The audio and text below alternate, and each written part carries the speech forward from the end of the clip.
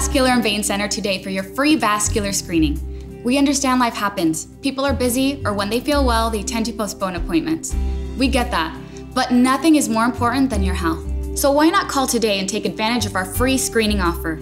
Without early detection screenings and regular monitoring, arterial disease is harder to control and can silently progress. Make your health a priority at Vascular and Vein Center at Gulfcoast Surgeons.